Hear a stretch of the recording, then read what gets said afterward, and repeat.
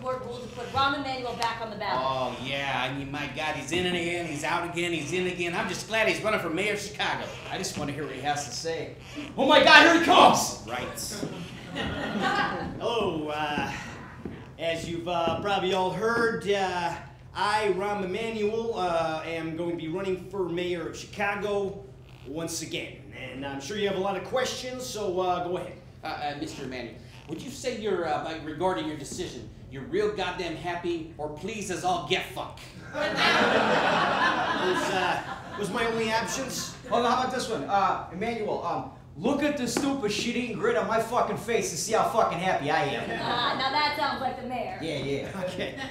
All right. That's uh, uh, that, that's that's that's the old Rahm Emanuel. Okay. I'm cleaning things up here. I know we're known for the sailor talk, you know, but uh, things are gonna be different now. And so, next question.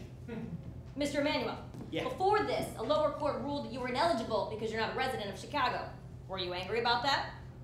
I was a little concerned. Uh, sure. Yeah, I bet you wanted to rip that judge's head off and take a shit down his tiny pencil neck, huh? No. I, s- okay. I see what you're doing here. Okay. I see what you're trying to make me snap. That's the old Rahm Emanuel. Okay. That Rahm Emanuel is kaput.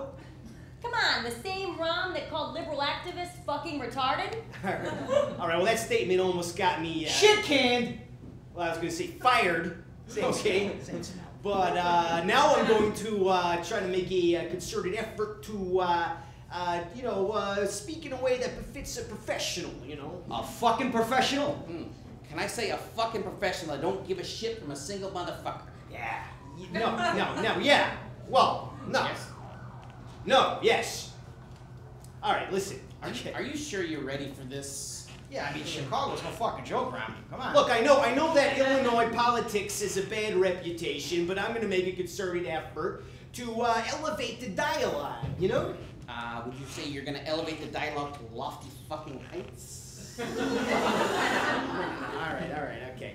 I see what you're doing here. I see where this is going here. Uh, here's the deal. Uh, I'm gonna win, okay? So I want you to ask me questions about my policies, about my views. You have any questions like that? Okay, Mr. Emanuel, can you tell us what you will do to uh, stem the the uh, Chicago's ballooning deficit Well, yeah. I- and use only forms of the word cocksucker? Yeah.